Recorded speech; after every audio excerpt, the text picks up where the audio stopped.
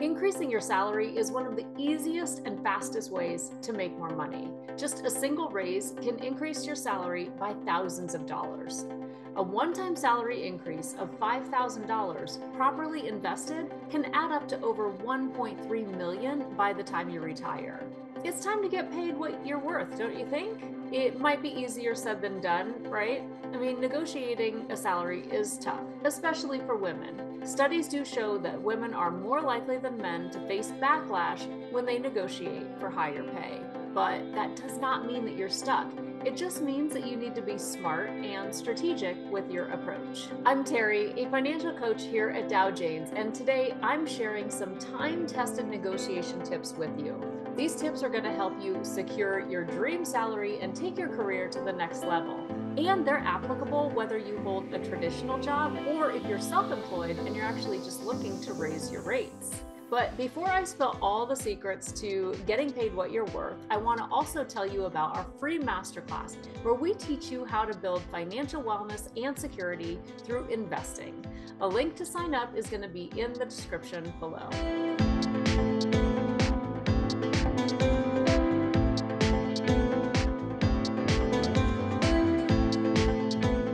To negotiate a raise.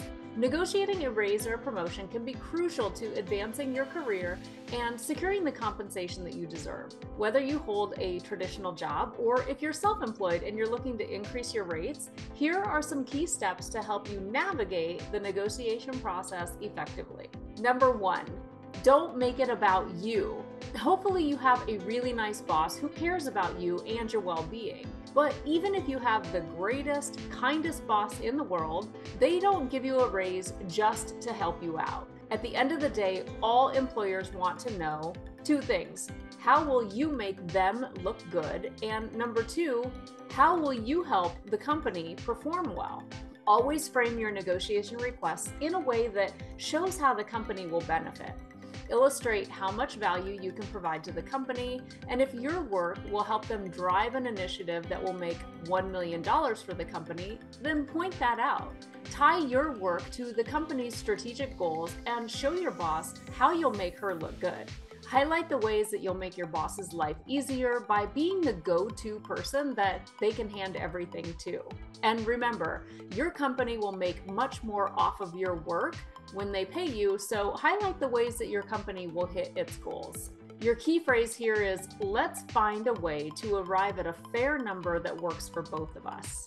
Number two, prepare and gather information. Start by conducting thorough research to understand industry standards, salary ranges, and the value of your skills and experience in the marketplace collect data on the salaries that are offered for similar positions and the responsibilities associated with the promotion that you're seeking. This information is going to empower you during the negotiation process most of the negotiation happens outside of the room. Call your contacts, figure out the salary that you would love to have and what you can realistically get and what you'll settle for. Don't just ask for the money. Literally, bring a strategic plan of what you want to do in the position and hand it to the hiring manager. Do you realize how few people come to a negotiation with a plan for that role? This alone could win you an additional two to five thousand dollars. And of course, it allows you to negotiate on the value that you're going to bring to the company, not just the amount that they're going to pay you.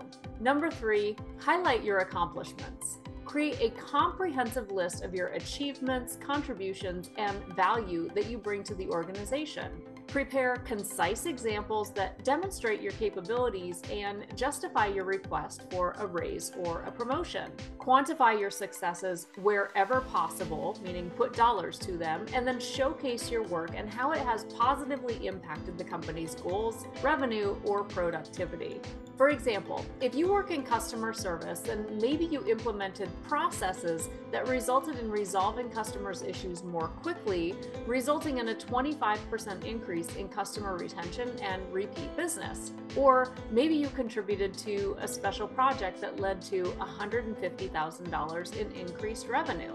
Especially as women, we have a tendency to downplay our accomplishments. This is where you need to take pride in what you've accomplished. Help your employer understand why you're worth more. Remember, everything that you say should be backed by hard numbers. So, this isn't a subjective opinion, it's a fact. Your work has helped the company succeed. Number four, build a strong case. Presenting a compelling case to your employer, focusing on the value that you've added and the potential that you possess, emphasize the skills, experience, and expertise that make you uniquely qualified for this raise or promotion.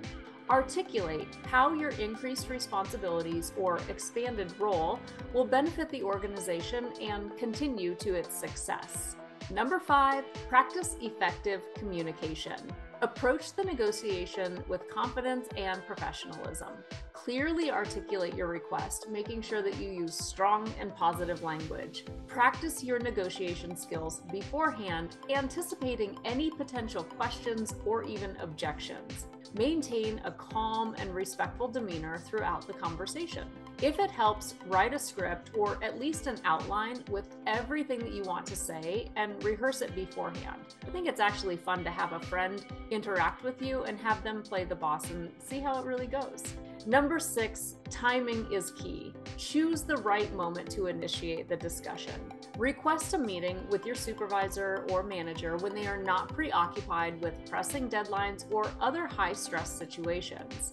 Additionally, consider timing your negotiations strategically, such as during performance reviews or when you have recently achieved a significant milestone or completed a successful project. Number seven, consider a win win solution.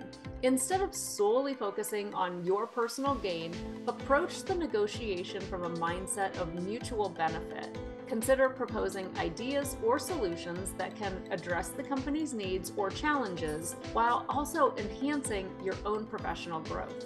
This collaborative approach can demonstrate your commitment to the organization's success.